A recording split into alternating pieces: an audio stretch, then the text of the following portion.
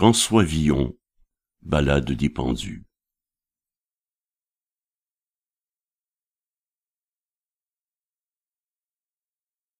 L'épitaphe en forme de ballade que fait Villon pour lui et pour ses compagnons, s'attendant être pendu avec eux.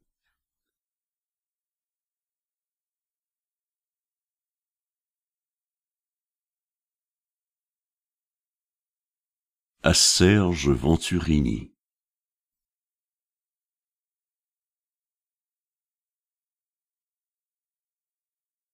Mon pauvre cœur vous laisse.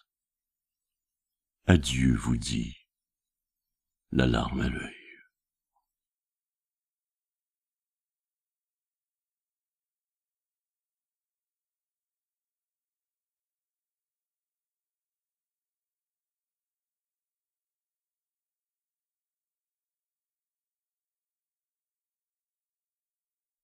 Frères humains, qui après nous vivez, n'ayez les cœurs contre nous endurcis, car si pitié de nous, pauvres avez, Dieu en aura plutôt de vous, merci. Vous nous voyez si attachés cinq, six, quand de la chair que trop avons nourrie, elle est piéça, dévorée pourrie, et nous les os devenons cendre et poudre. De notre mal, personne ne s'en rit, mais priez Dieu que tous nous veuillent absoudre. Si frères vous clamons, pendant devez avoir dédain, quoique fûmes oxy par justice.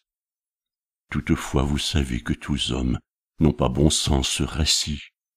Excusez-nous puisque sommes transis envers le Fils de la Vierge Marie, que sa grâce ne soit pour nous tarie, nous préservant de l'infernale foudre. Nous sommes morts, âme, ne nous harie, mais priez Dieu que tous nous veuillent absoudre.